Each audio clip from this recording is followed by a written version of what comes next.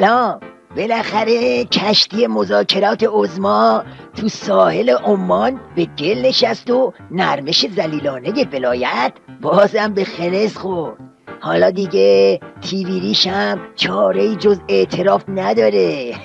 نشست دو روزه گفتگوهای وزیران امور خارجه ایران و آمریکا و نماینده پنج به علاوه یک در مسقط پایتخت عمان پایان یافت جان کری، اشتون و ظریف پشت درهای بسته چهار دور مذاکره کردند که تاکنون خبر خاصی از مذاکرات به رسانه ها داده نشده و ظاهرا قرار نیست هم داده شود.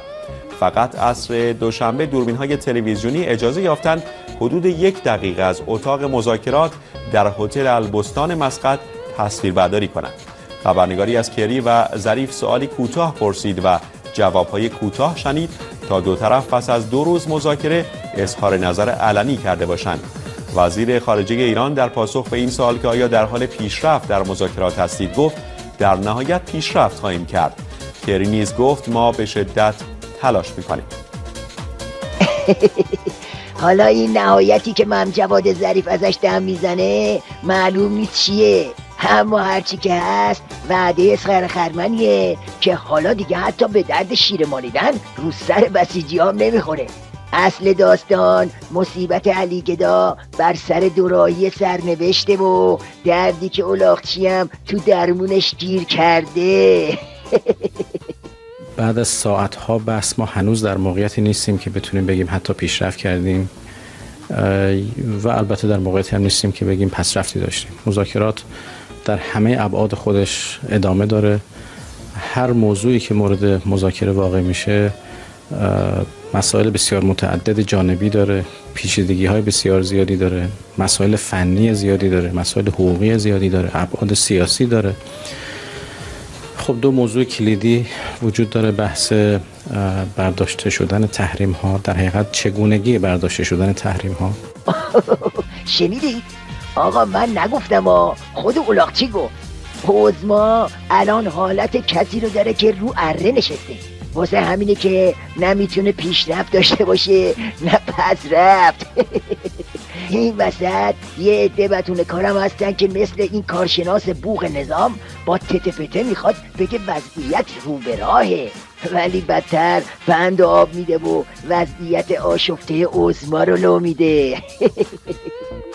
جمهوری اسلامی ایران معتقد هست که ما باید یک غنیسازی صنعتی رو داشته باشیم. اما طرف غربی همچنان تلاش می‌کنه تا از این حق جمهوری اسلامی رو بر در واقع ضایع کنه و به یک موضوع سمبولیک ایران رو متقاعد کنه. خوشبختانه هیئت جمهوری اسلامی ایران تمام توان خودش رو به کار بسته تا بتواند حقوق حقه جمهوری اسلامی رو اتخاذ کنه.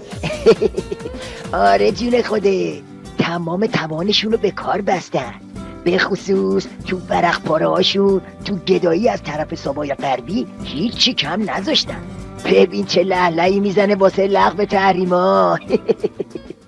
نیروهای چندگانه تاریکندیش از درون و بیرون صورتهای بهتر همزیستی انسانی را در منطقه به همراه صلح جهانی در بوته تهدید وجودی نهادند.